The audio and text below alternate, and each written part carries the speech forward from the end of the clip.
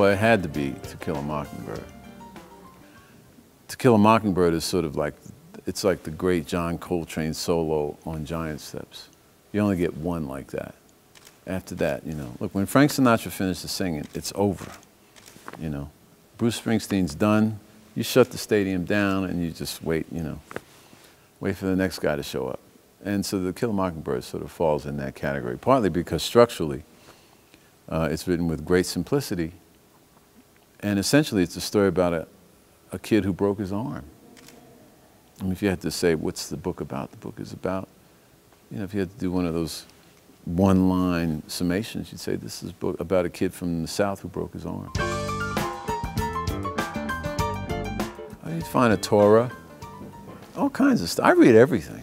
I go to old bookstores and just basically buy them out. I mean, unfortunately, you know, secondhand bookstores are. I have books on fishing, books on water, even though I'm afraid to, to go on a boat, you know. I have books about television, television writers, books about the creators of, of you know, Yogi Bear and, you know, uh, Tom and Jerry, that sort of stuff. I read just, I read everything. I see music and writing as really separate, separate entities. I'm, I'm best writing just looking at a brick wall and just taking care of business. You know, I'm not one of these writers who needs birds fluttering and, you know, the, the sounds of the creek passing. I mean, I'm, I'm, Brooklyn, I'm a city guy, you know, so um, I don't mind uh, any super, I don't mind, I don't need the superfluous stuff. I just need uh, time. I wake up at 4.30 every day. I write for a while. Sometimes I go to the gym and sometimes I don't. More often I don't. And I just, I hit it until I can't, can't do it anymore. I used to write longhand all the time. And then, and then I started typing.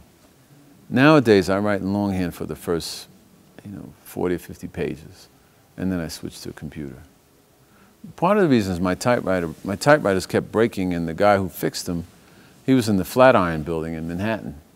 And then he got moved, he got priced out, and you know, New York changed, and I, I can't find anyone to fix them. I have like, I must have maybe 10 typewriters. I'm no Mark Twain. I'm, I am a, I suppose you could say I'm a humorist to some degree. And I try to, I look for things that are funny because you can't laugh about it, you end up crying. Um, I love what he did, and I love the fact that he was always about the common man. And uh, I like to think I'm about that, you know. I'm not really part of any literary community. I don't really engage in, in, the, in the discourse of literary life. Why are you not on the grid? You know, I don't have a TV. You know, I, I have a cell phone and I have a computer. And I, and I Google things when I have to. But I don't do any of that Facebook and Twittering and twiggling and fliggling. I don't, know why? Waste my time with that nonsense. So if someone had asked me, if, I suppose the question would be, you know, why are you not on the grid? Because the grid's not worth being on. I think people should get off the grid. They should read books. It's the last pipeline to freedom. Just regular books with pages that turn. Not books that come from the cloud with, you know, Amazon and no, I'm not interested in that stuff. I wouldn't be able to choose. I, I wish I could. I wish I could leave one of these mistresses. I'd have a lot more time. Um, I'm not that serious about either, though, really. I've been doing this so long that I don't need to practice anymore. I mean, I do if I want to play with Wynton Marsalis, sure, but I don't want to do that. And um, in terms of writing, if I wanted to be, you know, Mark Twain, why would I want to aspire to be what I can't be? I can only be myself. But I'm not really part of any community other than the community that, that raised me because I feel comfortable there. I feel more comfortable in my church in the Red Hook projects than I do anywhere else. Although sadly, I can't even afford to live in Red Hook anymore. You know, Red Hook has become, you know, the, the, it's been discovered.